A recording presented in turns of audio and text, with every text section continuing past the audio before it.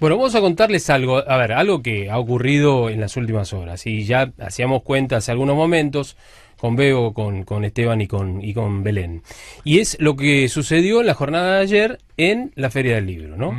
A ver, vamos a contarles a ustedes. Ayer se inauguraba la Feria del Libro, habló el director, el encargado, digamos, de alguna manera de, de lo que es la feria, este, expuso, este, bueno, la inauguración oficial, este, ciertas cosas que eh, obviamente eh, daban a cuenta de cómo va a ser esta Feria del Libro 2018, con las personalidades y demás. Eh, fue el tiempo luego, fue el tiempo luego de Pablo Beluto, ¿sí? Pablo Beluto este, se acercó al micrófono, de acuerdo a lo que hay dentro de las, de las crónicas que se señalan en la jornada de hoy, cuando irrumpieron en la sala un grupo de, jóvenes, de, docentes y alumnos, que intervinieron exigiendo que no se cierren los 29 profesorados para instalar lo que se denomina, o que va a denominar en la Ciudad de Buenos Aires en este proyecto, el UNICABA, la Universidad de la Ciudad de Buenos Aires. Bueno, este, vamos al móvil ahora con Juan Pablo Pérez, porque allí está en la legislatura, hay algunos manifestantes que estuvieron ayer en la Feria del Libro, ¿no es cierto, Juan Pablo? Exactamente, Javier, como vos lo señalás, yo estoy con Silvina Músculo, ella es docente del profesorado de educación especial, tiene 20 años de experiencia y estuvo ayer, así que la dejo en contacto contigo para que te comente cómo lo vivieron, qué fueron a expresar y que aquí están, eh, hay que recordarlo, que están presentes en la legislatura por la reunión de Comisión de Educación que va a tratar el mismo tema que vos mencionás y ya la dejo contigo. Hola, Hola Javier. Hola, buen día. ¿Cómo estás? Buenos días. ¿Cómo es tu nombre? ¿Me reiterás? Silvina Múscolo. Silvina, mucho gusto. Silvina, claro. ¿Cómo estás, Javier? Buen día. Antes que nada, a ver, ¿por qué están allí hoy en la legislatura? Bueno, primero, gracias por darnos, brindarnos la posibilidad de que nuestras voces se escuchen. Hoy estamos en la legislatura porque eh, se sigue debatiendo, están los 29 rectores de los profesorados nuevamente reuniéndose eh, por el debate porque el gobierno quiere, el gobierno de la reta está eh, queriendo que ingrese, que se apruebe la creación, el proyecto de ley, la ley para la creación de Unicaba una universidad que viene a desmantelar, si bien ellos lo niegan, los 29 profesorados de tradición histórica en nuestro país, algunos de los cuales tienen 150 años. Ahora, yo, yo, yo te pregunto, Silvina, eh, perdóname que te tutee. Este... claro, Javier. Bueno. No soy tan joven, pero soy joven. No, no, no. No lo digo por eso.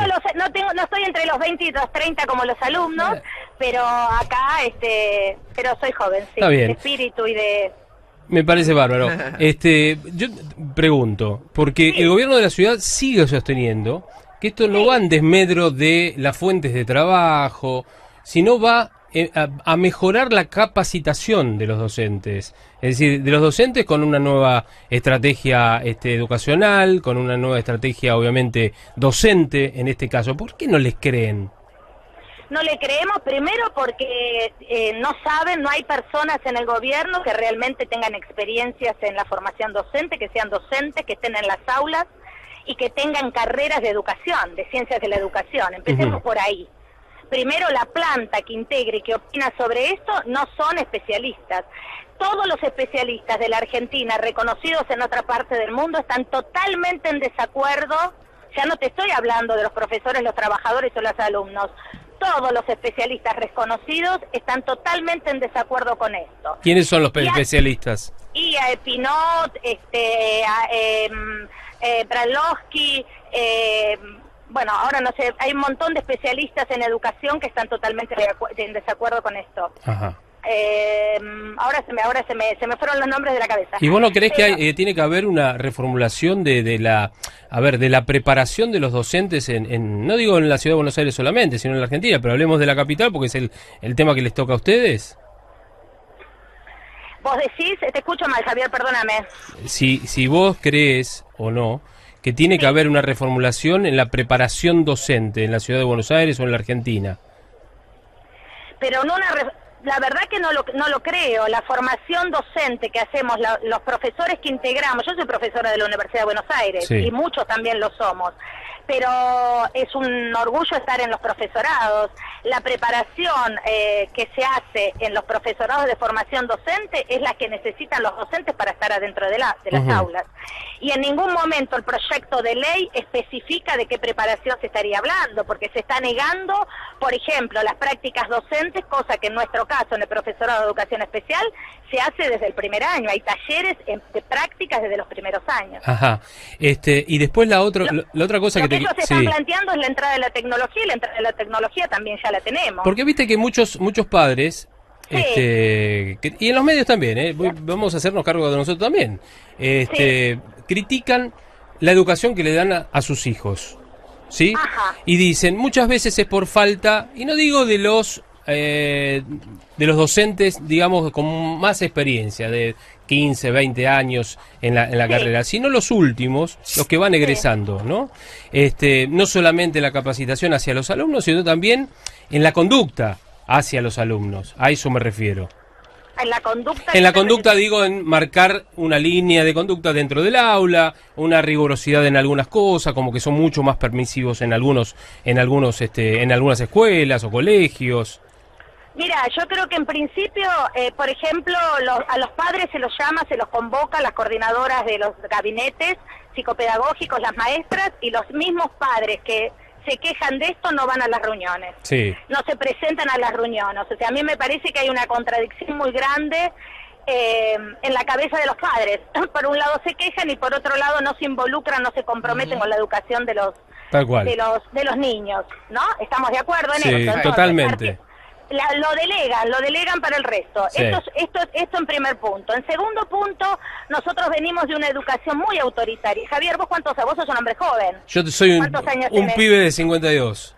Ah, bueno. Así que imagínate. Sos, sos, tan, joven como yo. Exactamente. Entonces, nosotros venimos de una educación muy autoritaria, de una educación donde al alumno no se lo escuchaba, no se le daba espacio. De hecho, todavía se sigue con este modelo. Y un problema muy grave que tenemos todavía en la sociedad argentina es que no se ha no se ha trabajado la libertad no se ha trabajado, no se no se no se recién ahora se instala, pero durante muchos años a los niños no se los escuchaba o si se los escuchaba, en realidad no se, no se les daba la palabra. La educación era la educación de la escritura, no de la palabra, de la reflexión, de hacerse preguntas. Y la libertad se enseña, se mm. educa, se trabaja. La democracia en, en, los países del primer mundo, de los cuales este gobierno se llena la boca, eh, en las escuelas los chicos están mucho más libres que acá. Sí, Quiero decir, pero hay, perdóname, te voy a, no te voy a corregir, sino que voy a hacer una salvedad. Este, En otros países hay una eh, línea de conducta que se respeta Acá no se respeta ni siquiera al docente. Y estoy hablando de esa rigurosidad del respeto hacia el docente, hacia el policía, hacia el médico y demás. En donde muchos, a mí lo que me parece también inclusive, y esto, a ver, voy en apoyo de, los de, los, de los maestros, de los, de los docentes, lo hemos hablado muchas veces acá, este, donde los padres increpan al docente porque lo retaron al hijo, porque le pusieron una mala nota, porque lo corrigieron de esa manera y demás. No estoy hablando de cuestiones violentas, ¿eh? No, no, Ahora, no, hay un respeto dentro del aula, ni el maestro tampoco impone un respeto tal que tiene que tener ese alumno para con el profesor.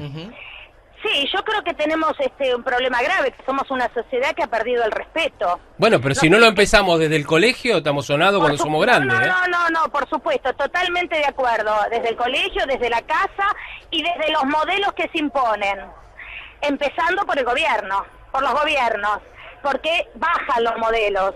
Y también en el trato que dan los medios, en tu caso es un trato impecable, pero muchos medios tampoco respetan al oyente cuando están puteando por, la, por, por radio o por televisión.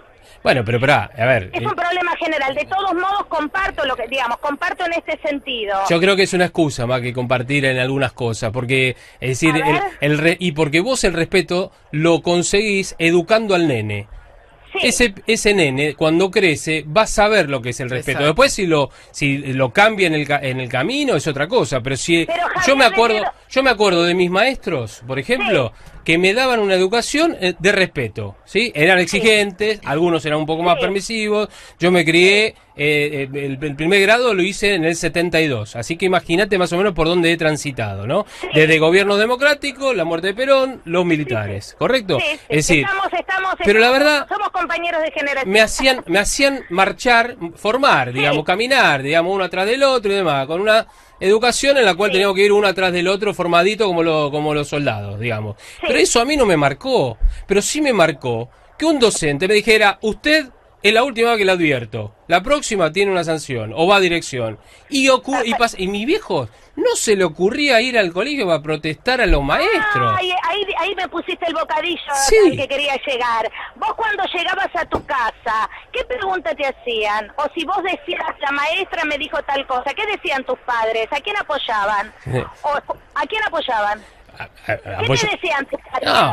Apoyaban al maestro siempre y cuando el maestro no se agarrara conmigo. Había algunos maestros que por ahí, viste, que tenían un encono con un pibe más que con otro. Yo lo he padecido Bueno, también. la el Pero- tema es que la legitimidad del docente te- estaba en otro lugar.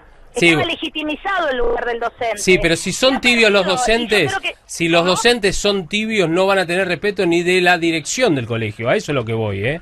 Es decir, ¿Quién dice que los docentes? Mira, yo tengo un montón, yo soy profesora de prácticas Sí. de lenguaje, digo, tengo tengo 20 años este de trabajo, eh, soy profesora de lectura, que- digamos, del área de lengua, em, tengo muchas alumnas que ya están, exalumnas y alumnos que están dando clases hace años. Sí. Eh, te imaginarás.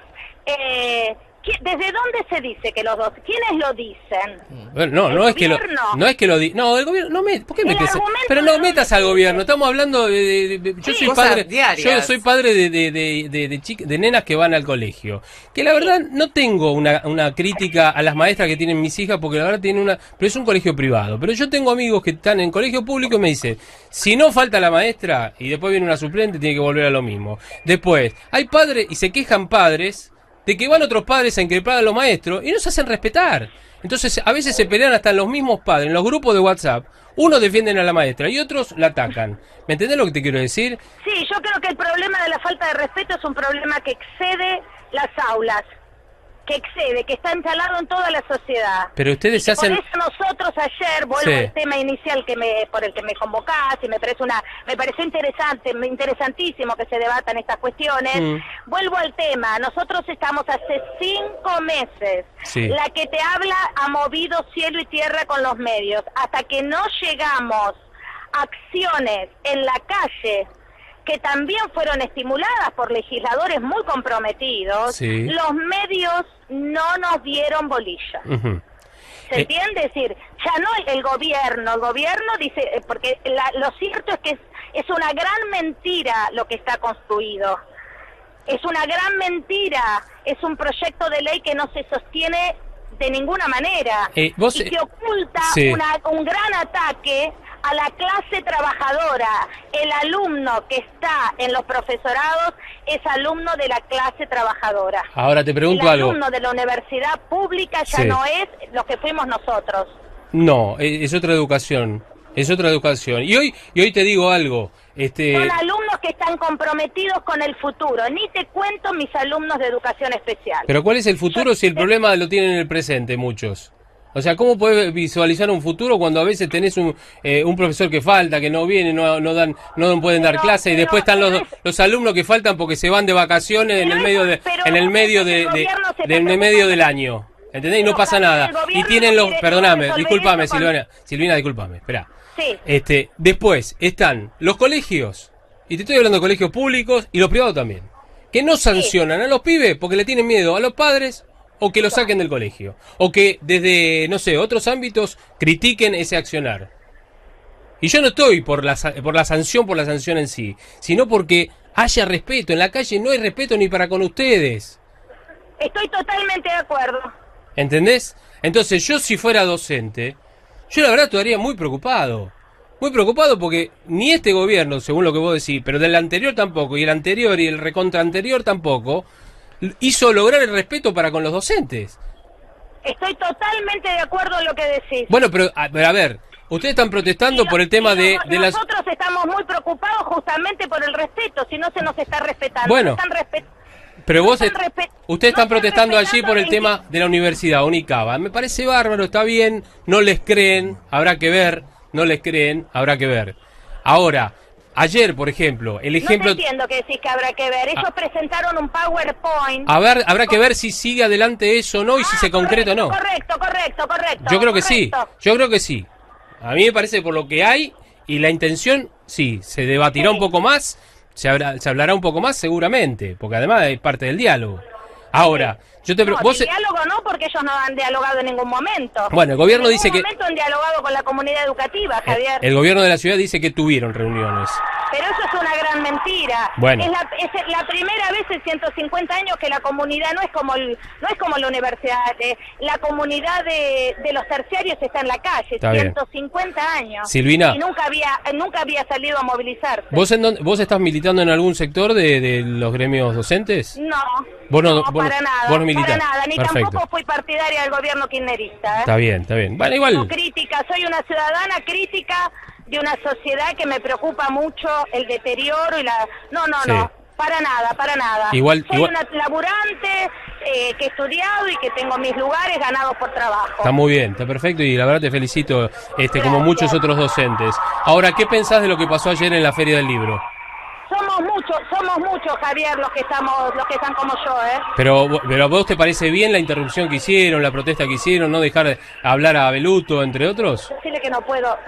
¿Nos escuchás? No, en este momento acaba de poner altoparlante si no te escuchó la pregunta. Le- Repetila, por le pre- favor. te preguntaba, ¿qué te parece a vos lo que pasó ayer en la ¿Qué Feria del Libro? lo que pasó en la Feria del Libro, Exacto. Silvina? Me estoy alejando porque han puesto Sí, sí, sí, te entiendo, volumen. te- entiendo. Recuerden ustedes que la calle Perú es muy estrecha Sí, y sí. el volumen es demasiado alto. Acá Sí. no podemos entrar por su ministerio.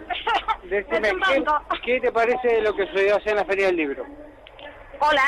Sí, te preguntaba eh, lo que te acaba de contar Juan Pablo. Mira, Javier, yo también estuve en el campo editorial, soy escritora, tengo libros editados que están traducidos en otros países. He formado parte de eh, libros, o sea, eh, estoy en una lista, estoy en varias listas de libros que han hecho aporte en literatura infantil y juvenil. Eh, lo que te imaginas, estuve en la Feria del Libro, es un espacio que adoro, respeto terriblemente a los intelectuales que son convocados de acá y de otro país. Eh, la verdad que la medida fue para llamar la atención en un, en, en un espacio y que definitivamente se nos escuchara, porque esto avanza, avanza, pasos abismales Bien. y todos los argumentos sólidos que están dando los, los rectores no son tenidos en cuenta. ¿Pero a vos te parece que fue un acto democrático no dejar hablar al ministro de, de Cultura?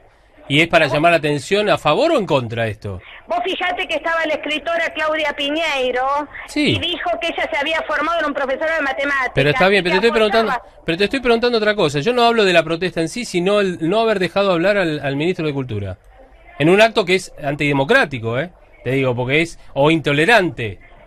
Y cuando ellos no nos escuchan Pero y, entonces- y salen con pero- un proyecto sin convocar a Pero la perdóname, pero Silvina, discúlpame, no te quiero Sí. este corregir demasiado. No, no, no, te pero, entiendo. Pero a ver, sos docente, ¿eh? Acordate de eso. El No docente, el docente es docente las 24 horas, como el policía, como el médico, como el periodista. Si vos me decís que está bien lo que hicieron ayer, porque claro, el gobierno no, entonces estamos en un gran problema y ustedes tienen que dar el ejemplo al revés. Yo creo que tendrían que muchos este, docentes pedir disculpas ayer por lo que hicieron. Pero a ver, ¿se maltrató a alguien? ¿Se Sí, golpeó a alguien? pero no es golpear maltrato, solamente, claro, es un maltrato, a ver, ingresar. El ministro le dio, y, y aunque hubiera sido de otro gobierno el ministro, ¿eh? es la feria del libro, eh, digamos, es un lugar... Pero, este, pero, eh, eh, Javier, estamos viniendo a la legislatura y no nos escuchan. Pero- están los, están los, espera, se están saliendo por medios alternativos. Estamos haciendo las cartas y los documentos. Venimos haciendo todas las acciones Bien. cuando los que empezaron avasallando fueron fue el Silvina, gobierno. Silvina, mirá si un alumno o varios alumnos, mientras vos estás dando la clase, te interrumpen porque quieren hacer una protesta y además no te dejan hablar. Y te tenés Bueno, que ir. pero sí, es lo pero mismo. yo tengo- lo que tengo que reflexionar es qué pasó para que llegáramos a eso. Bueno, a ver, bueno, entonces tenemos, entonces tenemos un libre albedrío y podemos hacer cualquiera lo que quiera. No, corazón, ¿Mm? porque nosotros venimos haciendo, Javier. Yo creo que está, están equivocados. O sea, eh, a ver, son ¿Y qué- docentes. qué tendríamos que hacer? Y no, está ¿Cómo perfecto. Yo, yo no te digo ¿Qué que no hagan una que protesta, hacer? que no Pero hagan no una protesta. Pero no pero el ministro le dio la palabra, le dio la palabra a dos de los manifestantes que subieron al escenario, hablaron y después cuando quiso volver a retomar a- para poder hablar, volvieron a interrumpirlo, entonces tuvo que ir. ¿Me entendés lo que te digo? Es decir, si ustedes no dan el ejemplo, estamos sonados. Y sí, en las marchas y protestas, yo la verdad a mí me, no sé qué le pasa al resto, a los oyentes, a- acá en la mesa, pero cuando yo escucho un maestro que están protestando, cuando son maestros, y te das cuenta que son maestros, ¿no? Cuando son este, militantes de cualquier otra este, sindicato y se, se suman a las No, marchas. acá- acá se suman. no, por eso. Pero cuando empiezan a insultar, a putear, yo te digo, no, ¿qué, imagen, qué imagen No, tienen los alumnos? Mirá mi maestro puteando ahí, gritando y rompiendo, qué sé yo. ¿Me No, entendés lo que te digo? Yo no estoy de acuerdo, pero puedo entender la desesperación que tiene el alumnado de la clase trabajadora, muchos de los cuales eh, viajan tres horas a la, de día a sus trabajos y luego tienen que estar en la calle con todos los problemas de seguridad, porque tenemos alumnos que viajan tres horas, vienen de zona sur, vienen de zona Sí. norte, y, y eh, puedo entender la indignación y la desesperación que tienen de no saber en qué situación quedan sus títulos, su, car- su futuro, los títulos que son de eh, abarcan, digamos, que cubrirían nación, pasarían a ser jurisdiccionales. La incertidumbre es total para Bien. todos los trabajadores y puedo entender la desesperación de los alumnos. Bueno. Por supuesto que no estoy de acuerdo, Javier. Bien, Silvina. Con- en ninguno, no, no, no. Pero es un insulto mayor que no que nos callen la voz y que nos nieguen la palabra. Perfecto. Igual ¿Me no, entendés? Pero no no, lo han estoy hecho. de acuerdo para nada bien, con un insulto. Que quede claro, ni yo ni los profesores. Bien, Silvina, te tengo que dejar porque tenemos las noticias, pero este, gracias por, por esta charla. Este, eh, fue un debate y, y ¿sabes qué? Te cuento, no te hago cargo, pero digamos, en, en base a, a lo que hablamos con vos, es parte Sí. de esto. Fue una charla democrática. Bueno, yo te escuché, yo, nosotros te escuchamos Sí. y vos nos escuchaste. Ayer, Bueno. ojalá hubiera pasado lo mismo y ojalá cual. siga pasando. Pero la diferencia, Javier, es que vos, no, vos, me, vos me diste lugar para escucharnos. Eh. Venimos de cinco meses, ¿sabés? Martes y jueves, viernes, reuniones en la legislatura. Los rectores están dejando la vida acá. Está bien, perfecto. Cuatro horas, cinco horas. Los asesores en educación es vergonzoso. Gracias, Silvina. Javier, muchísimas gracias. Un gusto, un gusto hablar con vos. Igualmente. Un Bueno. gusto realmente. Juan Cuando Pab- quieras, dispuesta. Bueno, muchas gracias. Ahí va a tener Un contacto seguramente Juan Pablo. Gracias. Perfecto, muchas gracias. Juan Pablo. Así es, bueno, 29 de los rectores Bueno. están todos aquí para entrar cuando comience la comisión a tratar este debate que ya tuvo su preludio contigo. Bien.